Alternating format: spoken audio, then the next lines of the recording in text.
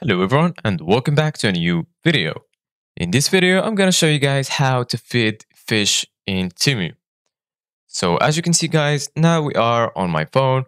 So in order to go to Temu, the first thing that you need to do guys is search for the application on your phone. Once you find it, just click and then wait for it until it's loaded. So as you can see guys, now we are in the home page so the first thing that you need to do guys is go ahead and sign in.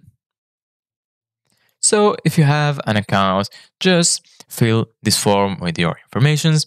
If you don't have an account, then in order to create an account, just follow the steps that I will show you. So the first thing that you need to do guys is enter your email address in this box. So for example, I'm gonna do this email address. So just type your email and then once you type your email, another box will pop out which is password. So just create a good password that you will remember. So make sure it's a little bit difficult so it's not stolen. So we're gonna save the password and as you can see, guys, now we are logged in. So the thing that you need to do, guys, right now is go to the bottom and then click on you.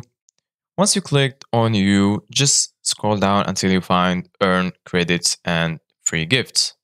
Just click on free gifts and then you're gonna find four options, free gifts, redeem cash, fishland, and lucky flip. So what you need to do guys is click on Fishland, just click on start and then wait for it to load. Once you're here, just click on any reward that you want. So for example, I'm gonna click on this one and then click on continue.